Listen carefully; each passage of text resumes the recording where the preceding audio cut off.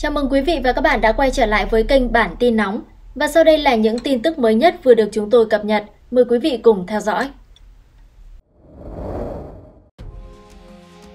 Mạnh tay hơn với tội phạm tham nhũng, Thưa quý vị và các bạn, Đoàn Chủ tịch Ủy ban Trung ương Mặt trận Tổ quốc Việt Nam vừa tổ chức hội nghị lần thứ 12 khóa 9 cho ý kiến vào dự thảo báo cáo tổng hợp ý kiến kiến nghị của cử tri và nhân dân gửi tới kỳ họp thứ 3 Quốc hội khóa 15. Ủy ban Trung ương Mặt trận Tổ quốc Việt Nam đã có dự thảo báo cáo về nội dung này tại phiên họp thứ 11 của Ủy ban Thường vụ Quốc hội. Điểm chung nhất được cử tri và nhân dân cả nước ghi nhận đánh giá cao, đó là dưới sự lãnh đạo của Đảng, sự giám sát của Quốc hội, sự ủng hộ của cộng đồng doanh nghiệp, người dân và bạn bè quốc tế. Chính phủ, Thủ tướng Chính phủ đã điều hành quyết liệt, hiệu quả, đạt được nhiều kết quả rất quan trọng, toàn diện trên các lĩnh vực. Cử tri và nhân dân bày tỏ sự tin tưởng mạnh mẽ và quyết tâm của Đảng và Nhà nước, đứng đầu là Tổng Bí thư Nguyễn Phú Trọng đối với công tác xây dựng chỉnh đốn Đảng, đấu tranh phòng chống tham nhũng tiêu cực, không ngừng, không nghỉ, không có vùng cấm và đồng tình về chủ trương thành lập Ban chỉ đạo phòng chống tham nhũng tiêu cực cấp tỉnh. Tuy vậy, cử tri và nhân dân chăn trở và lo lắng về những khó khăn thách thức nhiều mặt do dịch COVID-19 gây ra. Tiến độ giải ngân vốn đầu tư công và gói hỗ trợ phục hồi và phát triển kinh tế xã hội còn chậm. Đời sống của một bộ phận người dân, nhất là ở vùng sâu vùng xa còn khó khăn. Sự phối hợp của một số cơ quan trong giải quyết công việc chưa nhịp nhàng chặt chẽ vẫn còn một số cán bộ công chức viên chức tiếp tay cho các hành vi vi phạm pháp luật. Qua phiên họp thứ 11 của Ủy ban Thường vụ Quốc hội và các hội nghị diễn đàn chuyên đề, các cuộc tiếp xúc cử tri tại nhiều địa phương, nhiều cử tri và nhân dân bày tỏ sự bất bình, lên án mạnh mẽ, phẫn nộ đối với những hành vi trục lợi trong công tác phòng chống dịch COVID-19, mua sắm trang thiết bị vật tư tiêu hao có sự tiếp tay bao che của một số cán bộ đảng viên làm giảm lòng tin của nhân dân Thí dụ điển hình nhất là vụ án vi phạm quy định về đấu thầu gây hậu quả nghiêm trọng, lợi dụng chức vụ quyền hạn trong khi thi hành công vụ, đưa hối lộ, nhận hối lộ xảy ra tại công ty Việt Á và các đơn vị địa phương.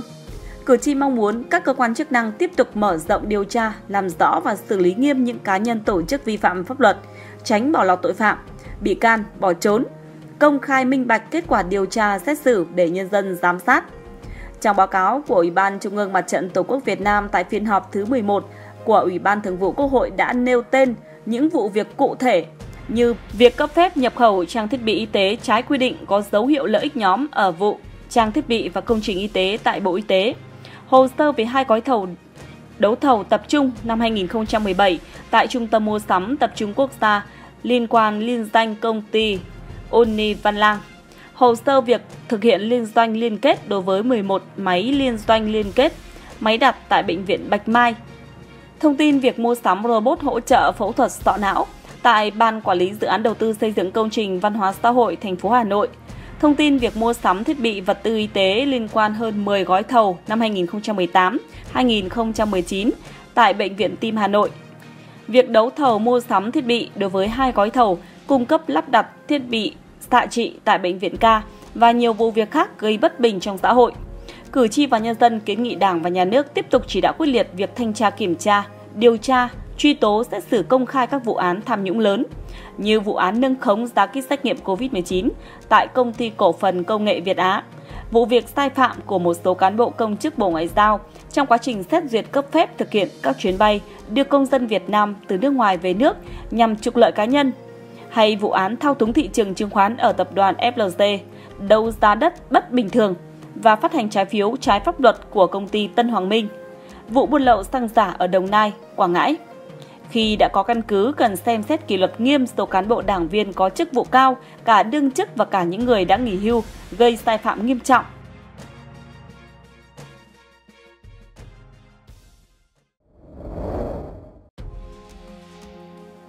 Thứ trưởng Bộ Giáo dục và Đào tạo tuyệt đối không để xảy ra tình trạng lạm thu trong năm học mới.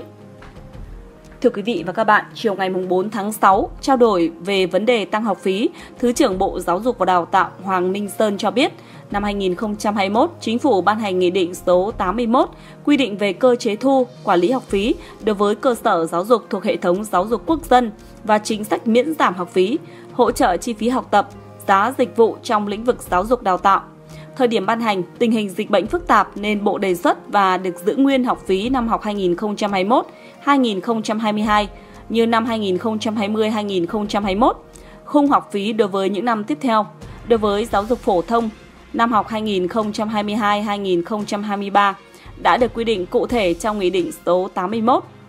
Theo ông Sơn, từ các năm sau, Hội đồng Nhân dân các địa phương căn cứ tình hình cụ thể về điều kiện kinh tế xã hội, mức độ tăng của chỉ số giá tiêu dùng từng địa phương, khả năng đóng góp thực tế của người dân để giải quyết định khung học phí hoặc mức học phí áp dụng cho địa phương ở bậc mầm non phổ thông.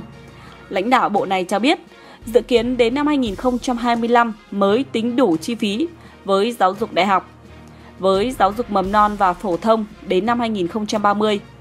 Lộ trình tính đủ chi phí này đã kéo dài so với chủ trương nghị quyết 19 của Trung ương. Nghị định quy định về khung học phí, mức trần, mức sàn, còn các địa phương quy định mức học phí hoặc khung học phí ở trong khung đó. Năm nay, mặc dù dịch đã được kiểm soát, tuy nhiên việc phục hồi kinh tế xã hội vẫn cần thời gian. Ở nhiều địa phương, nhiều gia đình vẫn còn khó khăn. Một số địa phương công bố mức học phí đối với các loại hình, các trường, mức độ tự chủ tài chính khác nhau. Ngày 23 tháng 5, Bộ Giáo dục và Đào tạo đã có công văn gửi các bộ ngành địa phương chỉ đạo các cơ sở giáo dục trực thuộc xác định mức học phí và lộ trình tăng học phí phù hợp để làm sao phù hợp với tình hình thực tế của địa phương, chia sẻ khó khăn với người dân. Bộ cũng đồng tình tăng cường thanh tra kiểm tra việc thu học phí của các cơ sở giáo dục để bảo đảm đúng quy định, tuyệt đối không để xảy ra tình trạng lạm thu trong năm học mới. Bên cạnh đó, chính phủ cũng giao Bộ tiếp tục nghiên cứu xây dựng lộ trình điều chỉnh tăng học phí, đặc biệt là nghiên cứu một cách toàn diện tác động của việc tăng học phí tới các đối tượng khác nhau, đặc biệt là các sinh viên học sinh gia đình khó khăn. Trên cơ sở đó đề xuất với chính phủ có những biện pháp hỗ trợ cần thiết. Ông Sơn cho hay, Bộ cũng sẽ tiếp tục có những hướng dẫn để làm sao trong khung đó các địa phương, các cơ sở giáo dục tùy theo tình hình có điều chỉnh cho phù hợp với tình hình cụ thể của các trường, địa phương khả năng chi trả của người dân cũng như đáp ứng yêu cầu tổ chức dạy và học trong tình hình mới.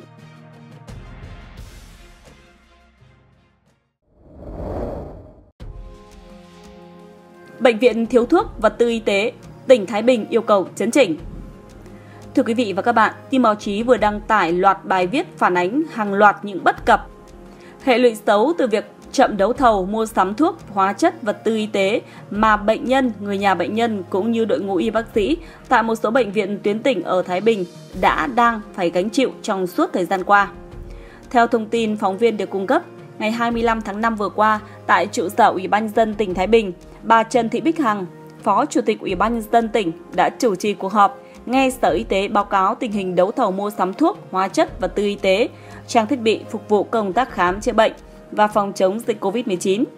Tại cuộc họp này, theo báo cáo của lãnh đạo Sở Y tế tỉnh Thái Bình, đối với gói thầu mua sắm tập trung thuốc năm 2022 thuộc danh mục đấu thầu tập trung cấp địa phương, Sở này đã ban hành quyết định phê duyệt kết quả lựa chọn nhà thầu với số danh mục trúng thầu là 21 trên 55 danh mục. Đối với gói thầu mua sắm tập trung hóa chất và tư y tế, cấp địa phương đã triển khai các bước của quy trình lựa chọn nhà thầu theo quy định. Đối với gói thầu mua sắm thuốc do các cơ sở y tế thực hiện đã được Ủy ban nhân dân tỉnh phê duyệt 12 gói thầu. Sở Y tế phê duyệt theo thẩm quyền là 13 gói thầu. Tuy nhiên, việc triển khai đấu thầu mua sắm thuốc, hóa chất, vật tư y tế phục vụ công tác khám bệnh, chữa bệnh và phòng chống dịch COVID-19 vẫn còn những tồn tại hạn chế. Cụ thể, vẫn còn 34 trên 55 danh mục thuốc chưa trúng thầu trong danh mục đấu thầu tập trung cấp địa phương. Đối với gói thầu mua sắm tập trung quốc gia và đàm phán giá do Trung tâm Mua sắm Tập trung Quốc gia thực hiện. Mặc dù đã có hai văn bản hướng dẫn, nhưng việc hướng dẫn tổ chức triển khai thực hiện của Sở Y tế tỉnh Thái Bình còn chậm. Bên cạnh những nguyên nhân khách quan như vướng mắc trong quy định, hướng dẫn của Bộ, ngành, Trung ương, còn có những nguyên nhân chủ quan cần khắc phục trong thời gian tới, như việc xác định xây dựng danh mục thuốc, hóa chất, vật tư y tế tại các cơ sở y tế còn chậm việc thẩm định kế hoạch lựa chọn nhà thầu của các phòng thuộc cơ quan y tế chuyên môn còn chậm. Đội ngũ cán bộ y tế tham gia thực hiện công tác đấu thầu, hội đồng thẩm định tại các cơ sở y tế còn hạn chế về chuyên môn nghiệp vụ. Do vậy, để đảm bảo cung cấp thuốc, hóa chất và tư y tế kịp thời, đáp ứng yêu cầu khám bệnh chữa bệnh cho nhân dân trong tỉnh năm 2022 và thời gian tới, Ủy ban dân tỉnh Thái Bình chỉ đạo ngành y tế phải xác định nhiệm vụ chăm sóc sức khỏe nhân dân là nhiệm vụ quan trọng hàng đầu, cần tập trung lãnh đạo chỉ đạo, bảo đảm tuyệt đối không để xảy ra tình trạng thiếu thuốc, hóa chất, vật tư y tế phục vụ chăm sóc sức khỏe cho người dân do chậm đấu thầu mua sắm. Tỉnh cũng yêu cầu Sở Y tế Thái Bình phải nghiêm túc chấn chỉnh những tồn tại hạn chế nêu trên, đặc biệt là những tồn tại hạn chế liên quan đến thẩm định đấu thầu mua sắm thuốc, hóa chất, vật tư y tế thuộc thẩm quyền. Khẩn trương tổ chức tập huấn để nâng cao trình độ năng lực cho các cán bộ tham gia công tác đấu thầu của các cơ sở y tế.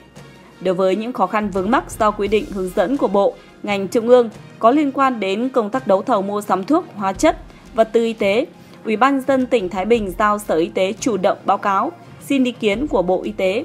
phối hợp với Bảo hiểm xã hội tỉnh báo cáo Bộ Y tế, Bảo hiểm xã hội Việt Nam những nội dung có liên quan. Trường hợp cần thiết, tổng hợp báo cáo Ủy ban dân tỉnh đề xuất các bộ ngành trung ương về hoạt động mua sắm thuốc, hóa chất, vật tư y tế năm 2022, Sở Y tế Thái Bình khẩn trương chỉ đạo Bệnh viện Đa khoa tỉnh hoàn thiện các bước tiếp theo của quy trình lựa chọn nhà thầu, gói thầu, mua sắm hóa chất và tư y tế theo đúng quy định hiện hành, có kết quả phê duyệt trong tháng 6 năm 2022. Đối với danh mục thuốc thuộc gói thầu mua sắm tập trung không trúng thầu, Sở Y tế chủ động chỉ đạo trường hợp vượt thẩm quyền phối hợp với các sở ngành đơn vị có liên quan tham mưu cho Ủy ban dân tỉnh chỉ đạo thực hiện. Sở Y tế Thái Bình đồng thời phải chỉ đạo các cơ sở y tế xây dựng kế hoạch tổng hợp danh mục thuốc, hóa chất, vật tư y tế thuộc danh mục đấu thầu mua sắm tập trung cấp địa phương, hoàn thành trong quý 3 năm 2022, đồng thời chủ động kế hoạch mua sắm thuốc, hóa chất, vật tư y tế theo thẩm quyền. Chủ trì phối hợp với Sở Tài chính, Sở Kế hoạch và Đầu tư, Bảo hiểm xã hội tỉnh và các sở ngành đơn vị có liên quan căn cứ các quy định hiện hành, tham mưu cho Ủy ban nhân dân tỉnh Thái Bình về phương án đơn vị được giao nhiệm vụ tổ chức đấu thầu tập trung, báo cáo Ủy ban nhân dân tỉnh trong quý 3 năm 2022.